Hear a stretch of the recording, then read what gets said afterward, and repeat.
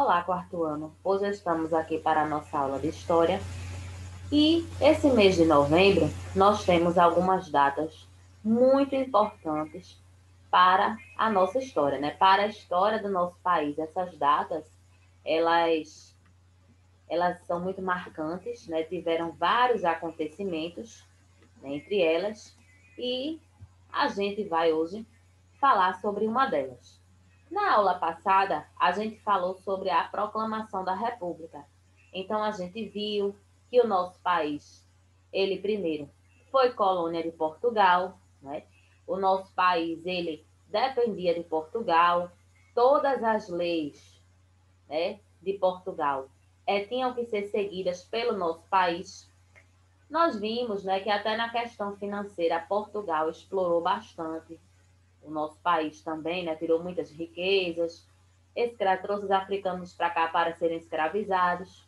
Então depois passou a ter o império. O império, né, nós tivemos dois imperadores no nosso país, que foi Dom Pedro I e Dom Pedro II. Só que na época, quando Dom Pedro II foi assumir o cargo, Dom Pedro II era filho de Dom Pedro I, quando ele foi assumir o cargo, tinha um certo problema, porque ele tinha cinco anos de idade apenas. Então, houve um período na nossa história que foi o período regencial, né, que vários regentes foram assumindo, já que Dom Pedro era menor de idade. Então, depois, com o passar do tempo, ele assumiu, né, fizeram a antecipação da maioridade de Dom Pedro. Mas, mesmo assim, no Império, ainda existia uma coisa que incomodava muito as pessoas, que era o quê? O cargo de administrador, no caso, na, na nossa, nessa época aí, era o cargo de imperador. Então, era um cargo hereditário, era um cargo que passava de pai para filho. O imperador ditava as regras, né, dizia o que deveria ser feito e ninguém tinha o direito de escolher. Ninguém tinha o direito de opinar, ninguém questionava o imperador, bem diferente dos dias atuais, não é? Ninguém fazia essas formas de protesto que nós vemos hoje em dia então, as pessoas cansaram disso, as pessoas queriam, nós vimos né, na outra aula, as pessoas queriam participar do governo, queriam participar das decisões do governo. Então, nada melhor do que transformar o nosso país em uma república, já que a república ela é vista como democrática. Nós vamos, né? O que aconteceu no último domingo, nós vamos às urnas no dia das eleições e escolhemos os nossos representantes para presidente, governador, vereador, prefeito, deputado, senador, né? E isso é o que faz a República ser democrática. Mas para poder chegar até isso, nós falamos na aula passada que foi um problema, viu? Por quê? Hoje em dia, todas as pessoas entre 18 e 69 anos, elas são obrigadas a votar, apesar de o voto ele ser visto como um direito. Em outros países, o voto ele não tem países que, os, que o voto ele não é obrigatório, mas no nosso país tem que votar. E é, muitas vezes o que o que complica um pouco essa situação é o seguinte: a gente vai, escolhe, né? Sempre tem os políticos adversários. Infelizmente, atualmente, o que complica um pouco essa escolha dos, dos é, políticos está tendo muito desrespeito né, entre algumas pessoas, não estão respeitando a opinião política de outras. E, como eu havia falado ainda agora, de 18 a 69 anos, em nosso país o voto é obrigatório. Ele é facultativo entre, entre 16 e 17 anos. Por quê? A partir dos 16 anos, uma pessoa ela já pode tirar o seu documento, o seu título de eleitor. Então, 16 e 17 anos, se ela votar ou não votar, não vai fazer tanta diferença para ela. Ela não vai precisar justificar voto, não vai pagar multa. E as pessoas acima de 69 anos. Também o voto ele é facultativo. A pessoa vota se ela quiser. Hoje em dia, todo mundo de 18 a 69 anos pode votar. Mas antigamente, nós até falamos sobre isso, mulheres não votavam. E, se ela, e quando as mulheres começaram a votar, elas tinham que pedir autorização ao seu, ao seu marido. É, analfabetos não poderiam votar. Pessoas pobres, né, os escravos na época, não poderiam votar. Até chegar a essa, a essa forma que está hoje em dia, que todas as pessoas têm o direito de votar. Então, vocês imaginem, né, as pessoas, todo mundo faz parte da sociedade e apenas algumas pessoas poderiam votar. Então, isso incomodou né, por muito tempo as pessoas e ficou uma atividade no caderno para correção. Né? A gente viu, nosso país atualmente é uma república. Num sistema de república, quem governa é o presidente. Né? E o primeiro presidente do nosso país foi o Marechal Deodoro da Fonseca. Ele assumiu, ele proclamou a república e ele assumiu o cargo de presidente.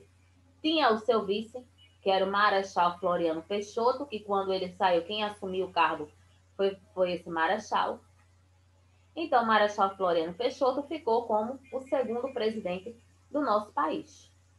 Então, ficaram algumas perguntinhas, né? Nós vimos que atualmente nosso presidente é Jair Bolsonaro, mas passaram vários presidentes, desde o Marechal Deodoro da Fonseca até hoje, né? Inclusive numa certa época, você só, você só se candidatava a presidente se você fosse militar, né, que era na época dos governos militares. E de um tempo para cá, não.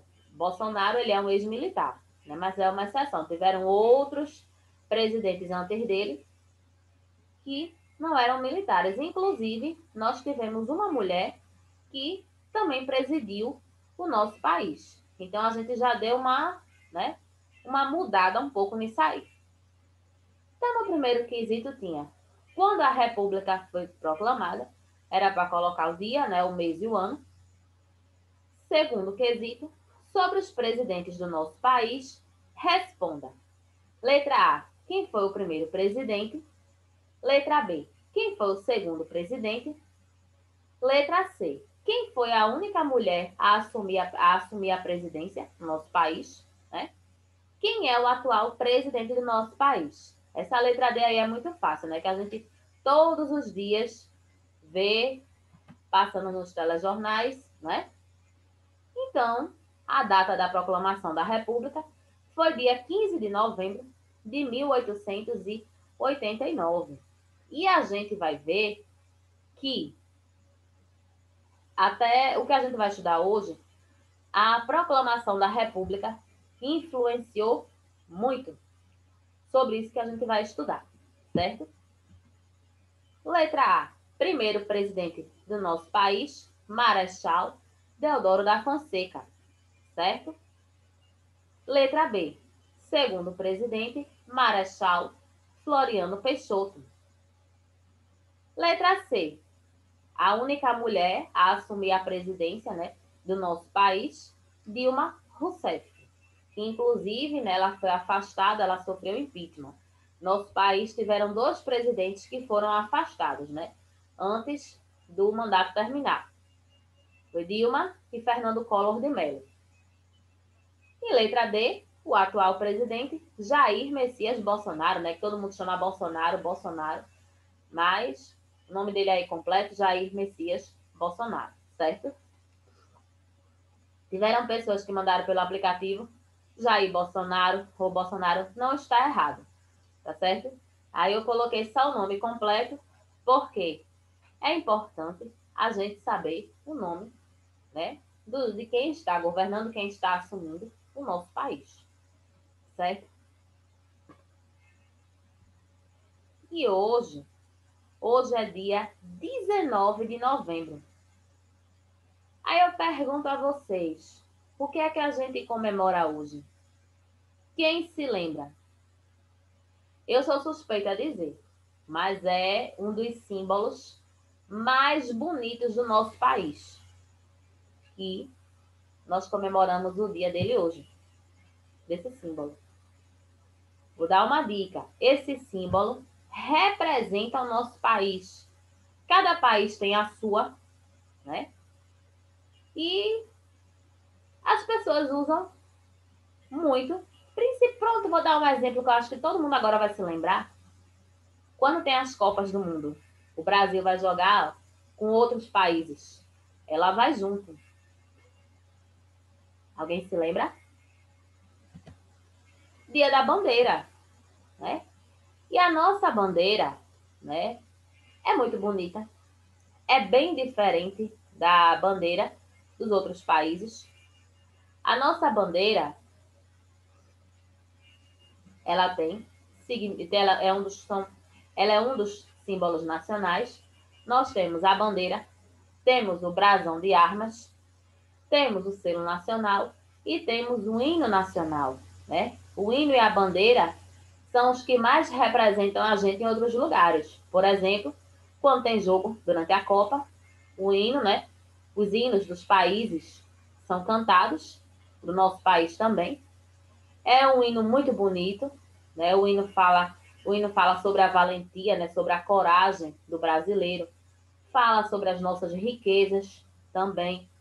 E depois, quando a gente for estudar sobre, quando a gente for estudar sobre é, alguns símbolos da República, então a gente vai falar um pouco mais sobre esse hino. Então, hoje, como é o dia da bandeira, né? Então, a gente precisa ter amor à nossa pátria. É um símbolo de ufanismo. A bandeira, quando a gente fala em ufanismo, é amor, é respeito à nossa pátria. E a nossa bandeira ela é muito bonita. Ela tem cores fortes. Ela se destaca justamente por essas cores. Mas essas cores que essa bandeira tem, que a nossa bandeira tem, essas estrelinhas, esse nome aí, essa frase, ordem e progresso, que é o lema da nossa bandeira, nada disso aí foi à toa, não. Não é? Por quê? A nossa bandeira, ela tem formas, se a gente for observar, ó, tem o quê? Nós temos aí de formas o retângulo verde, né, que é essa parte toda verde aí. Temos o losango amarelo. Temos um círculo azul e temos a, essa faixinha branca, essa faixinha branca aqui, com o nome Ordem e Progresso. Certo? E nós também temos essas estrelas. E essas estrelas são 20, 27 estrelas as estrelas representam os 26 estados e o Distrito Federal. Mas a gente vai ver que nem sempre a bandeira do nosso país foi desse jeito, não. Essa bandeira aí, ela foi adotada é, depois da proclamação da República. Quando houve a proclamação da República, foi feita uma bandeira com essas cores, mas essa bandeira foi utilizada por quatro dias, que foi do dia 15 até o dia 19 de novembro. Quando foi? No dia 19 de novembro, né, que foi no mesmo ano, a proclamação da República e a bandeira. Então, foi feita essa outra bandeira. E a gente vai ver que essas cores aí, não é porque ninguém simplesmente, ah, eu gosto de verde, então vamos colocar verde na bandeira. Eu gosto de amarelo, vamos colocar amarelo. Cada cor dessa tem um significado certo? Adotada em 15 de novembro de 1889, quatro dias após a proclamação da República. A proclamação da República foi no dia 15 de novembro do mesmo ano, né, de 1889, e no dia 19 houve a adoção dessa bandeira, né? E o lema da nossa bandeira é ordem e progresso, né? São essa a, a, a frase que tem na faixinha né, naquela faixinha branca da bandeira, é um símbolo do nosso país, né, um dos símbolos. Como eu havia falado, tem outros símbolos, como o hino nacional, o selo nacional e o brasão de armas, que nós vamos ver numa das, numa das próximas aulas, certo? 27 estrelas que representam os estados e o Distrito Federal. Né? A posição que essas, que essas estrelas se encontram é, na bandeira, alguns estudiosos dizem que é a mesma posição né, do, vista no céu nessa mesma data da criação da bandeira brasileira, certo? Então, a posição que essas estrelas estavam no céu foi representada na bandeira, de acordo com alguns estudiosos, certo? Alguns historiadores, né? E eu havia falado ainda há pouco, né, que as cores não é porque nessas cores não é porque simplesmente alguém achou bonita e colocou na bandeira não. Tem significados e significados fortes, né? Verde. Verde representa as nossas matas. Antigamente, a nossa mata atlântica, né, ela era muito rica. Foi a primeira, foi a primeira mata devastada né, do nosso país. Então, nós temos a Mata Atlântica no nosso país, temos a Amazônia, apesar de que a Amazônia tem uma parte que pertence a outros países, mas a sua maior parte está no Brasil. Temos a Mata dos Cocais ou das Araucárias. Então, nós tínhamos muita área verde em nosso país. Tínhamos uma, umas matas, né? Hoje em dia, a Mata Atlântica foi bem devastada, a Amazônia também sofreu bastante com a questão do desmatamento, mas o verde representa essas matas. Aí eu pergunto a vocês: em quais lugares vocês veem a bandeira? Vamos pensar, daqui a pouco a gente, a gente responde. Então vamos pensando aí em quais locais vocês já viram a bandeira do nosso país. O amarelo representa as nossas riquezas, né? representa o nosso ouro o ouro, né? E numa certa, numa certa época do nosso país, nós tivemos o ciclo do ouro, foi uma das nossas riquezas também. Nós tivemos várias riquezas em nosso país, né? E o ouro foi uma delas. O azul representa o nosso céu e essa faixinha branca, onde tem escrito, né, onde tem escrita a frase ordem e progresso, que é o lema, essa faixinha branca representa a nossa paz. A gente sabe né, que estamos tendo alguns conflitos em nosso país, mas a gente sempre tem que pensar que tudo pode melhorar, né? Se cada um fizer a sua parte. Aí agora a gente está observando aqui a bandeira, né? Olha aí, ó, vamos observar de novo as cores, ó. O retângulo verde, o losango amarelo, o círculo azul e a faixinha branca. As estrelas do Cruzeiro do Sul representam cinco estados: Bahia, Minas Gerais, Espírito Santo, Rio de Janeiro e São Paulo. São essas daqui, ó, onde a setinha está passando. São as estrelas que representam o Cruzeiro do Sul. O Cruzeiro do Sul é uma constelação. Constelação é o quê? Conjunto de estrelas. Então, ó, conjunto de estrelas, né? O coletivo de estrelas é a mesma coisa. E não sei se vocês observaram, na bandeira, nós temos todas essas estrelas aqui embaixo. E aqui em cima tem uma, tem uma, uma estrelinha sozinha. Aí vem a pergunta: o que será que essa estrela sozinha está representando?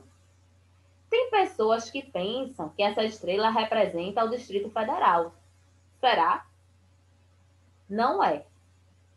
Ah, tem pessoas que acham que essa estrela está aí só de enfeite. Mas não é. Essa estrela, ela, ela o nome dela é Espica, tá?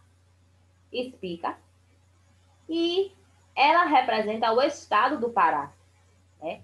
já que cada estrela dessa representa um estado brasileiro. Essa que fica aí sozinha em cima, ó, representa o estado do Pará, certo? Nós vamos ver daqui a pouco, é, na bandeira, a posição de cada estado nessas estrelinhas, tá certo?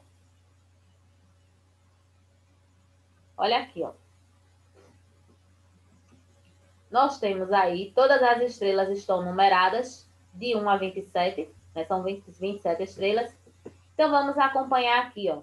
1 é a Espica, né? Que é o estado do Pará. Número 2, o estado do Amazonas.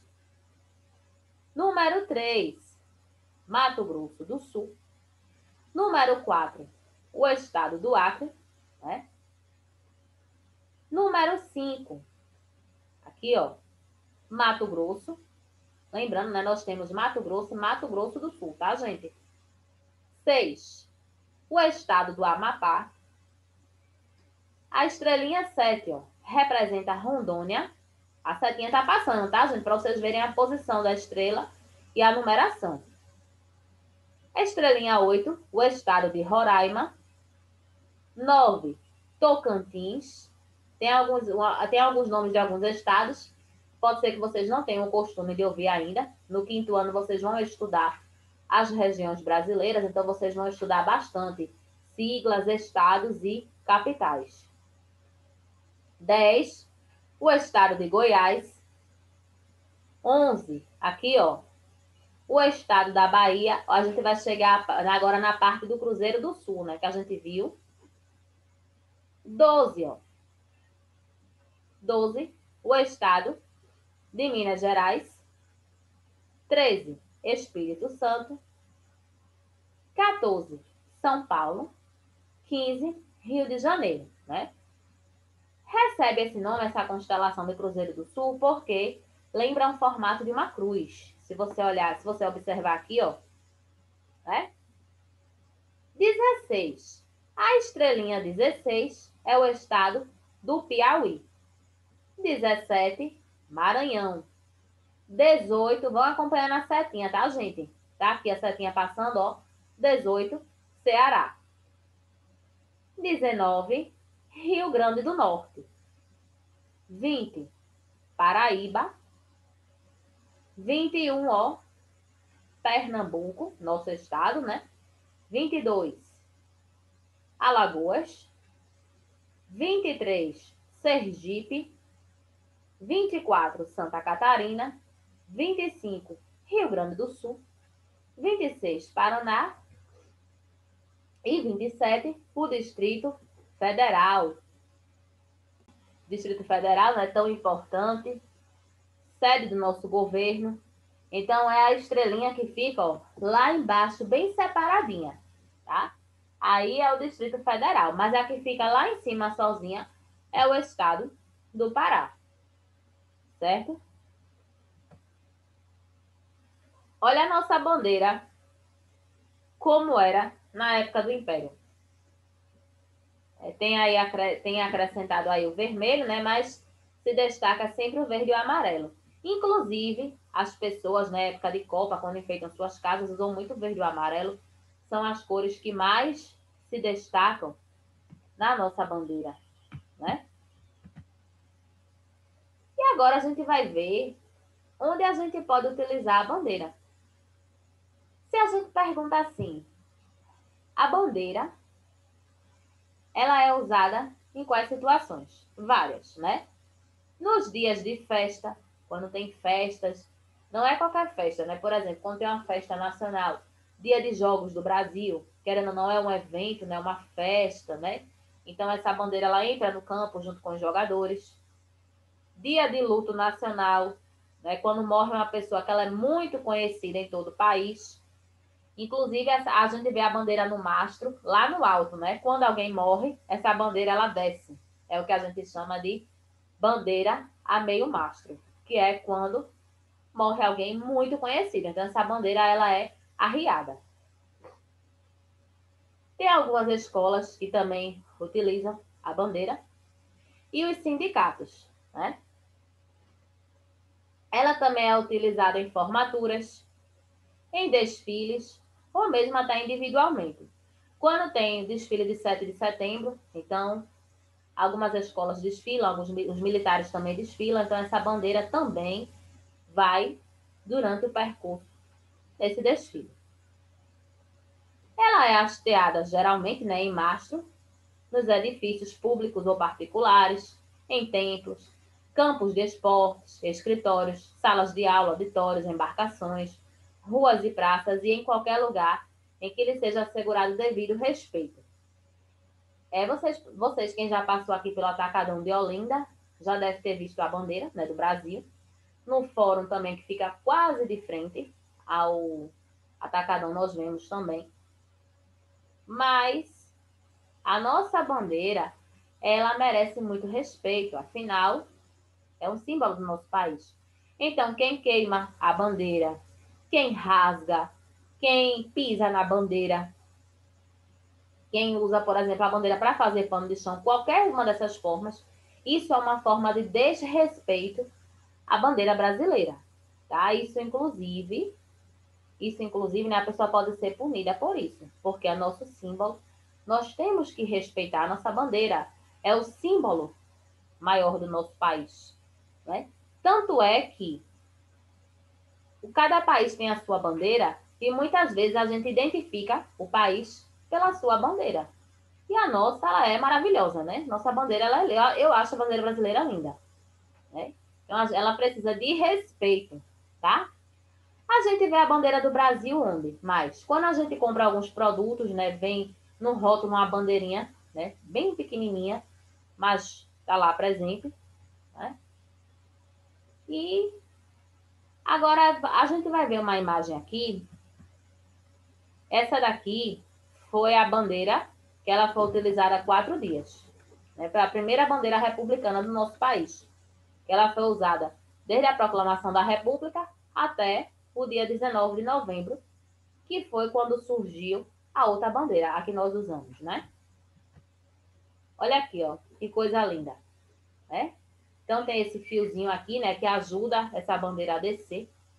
As bandeiras, elas geralmente, elas devem ser hasteadas, né? Devem ser levantadas às 8 da manhã e às 6 horas da tarde, elas devem ser, elas devem descer, né? Devem ser arriadas, porque geralmente elas ficam mais expostas em horários comerciais. Mas tem alguns locais que ficam o tempo todo. Olha aqui, ó. Bandeira meio mastro. Quando vocês verem a bandeira assim, isso aqui é luto né? Alguém muito, alguém muito conhecido morreu. A gente sabe que, que todos os dias no nosso país, no mundo, na verdade, nascem pessoas e morrem pessoas também. Mas ela, assim, a meio mastro, está representando que morreu alguém muito conhecido. É uma forma de luto. Ela também é utilizada, né, em algumas formas de protesto, não é? Também, né, ela é utilizada. Mas lembrando, as pessoas vão protestar, não podem rasgar, não podem riscar, não podem queimar, nada que vá fazer mal à nossa bandeira, certo? Aí a gente tá vendo essa imagem aí. Aqui, ela não foi, ela não foi rasgada, tá, gente? Isso aí é uma, uma, uma representação, isso aí foi feito por, pelo computador. Isso aí é para chamar a atenção das pessoas sobre o desmatamento. Então, ó, estão tirando o verde da nossa terra. SOS Mata Atlântica. Isso é para chamar a atenção das pessoas que elas estão destruindo uma das nossas riquezas, né, que são as nossas matas. Mas isso aqui foi feito em computador, não foi rasgado, nada disso aí foi afetado, tá, gente? Isso é só uma forma de chamar a atenção das pessoas sobre as nossas áreas verdes. Outra aqui, ó, representando o desmatamento, né? Também foi feita uma montagem em computador, uma parte da bandeira e uma parte da Amazônia aí desmatada, certo?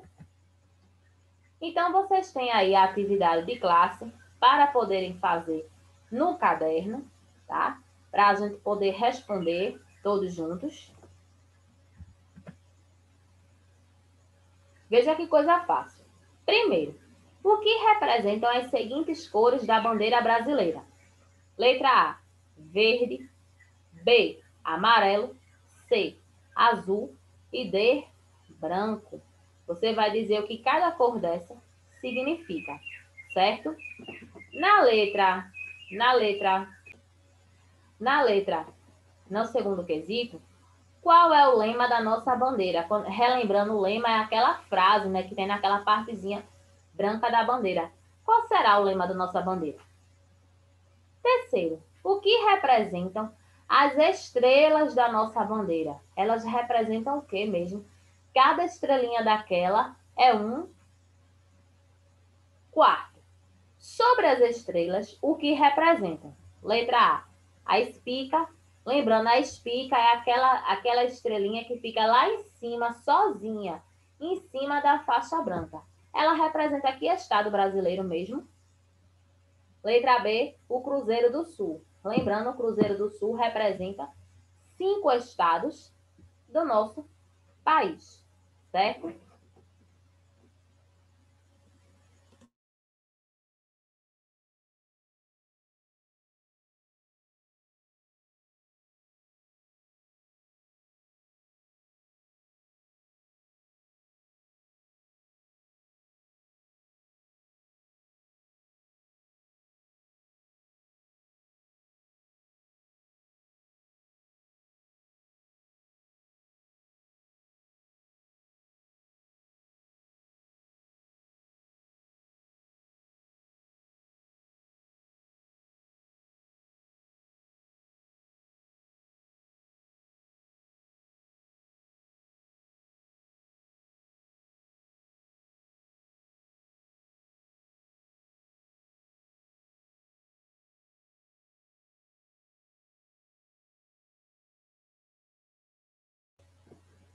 Então, ó, vocês podem pausar o vídeo, tá?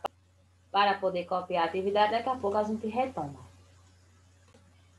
Então, ó, vamos fazer a nossa correção, né? A gente tinha aí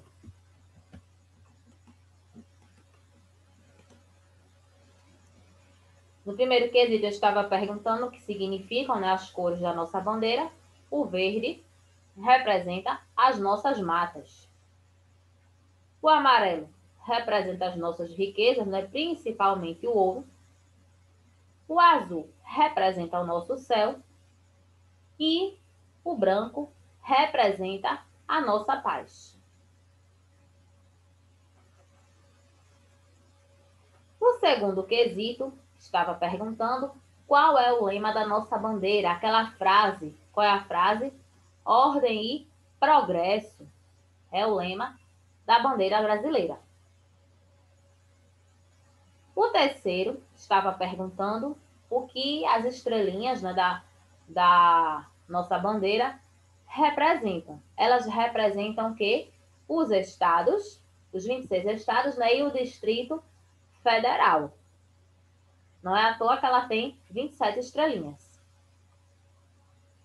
Na letra A, estava, é, no quarto quesito, estava perguntando o que as, as, as estrelas né, representavam.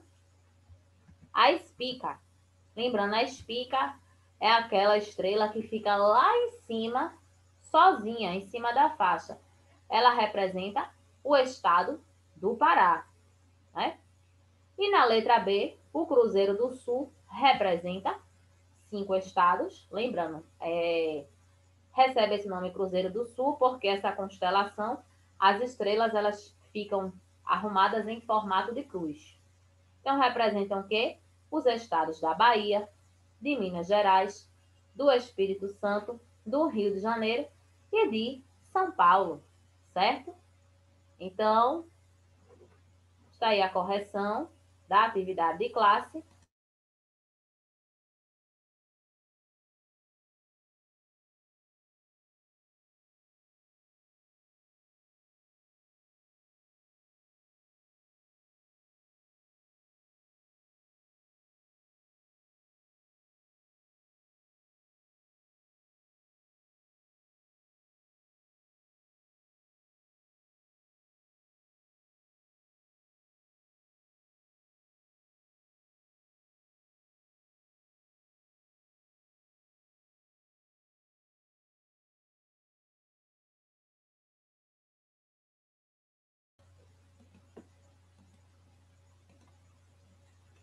atividade de casa tem três quesitinhos, tá bem fácil. Primeiro, quando a bandeira brasileira foi adotada, essa bandeira, ela foi criada quando? Né? Lembrando, foi no mesmo ano da proclamação da República, foram quatro dias depois. Né? Segundo, dê exemplo de como podemos usar a bandeira nacional. As formas que a gente pode usar, né? nós vimos aí que ela é usada em desfiles, em formaturas, né? em, várias, em várias coisas. Agora, lembrando que a gente vai ter que escrever como a gente pode utilizar ela, né? Com respeito, tá? E no terceiro, vocês vão desenhar e pintar a bandeira brasileira. Vocês podem desenhar ou no caderno de história de vocês, ou vocês também podem desenhar no caderno de desenho. Aí fiquem à vontade, certo? Aí fica a critério de vocês, tá? Lembrando, atividades de caderno estão disponíveis no aplicativo, mas a correção apenas no vídeo, tá certo?